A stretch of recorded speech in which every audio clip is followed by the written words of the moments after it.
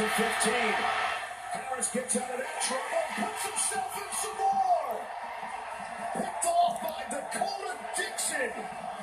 And flags go flying, and players come together now.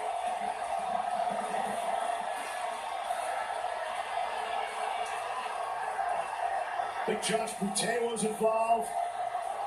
I count four, or five yellow hankies on the field and a whole lot of celebration in red. That's a frustration reaction from LSU players.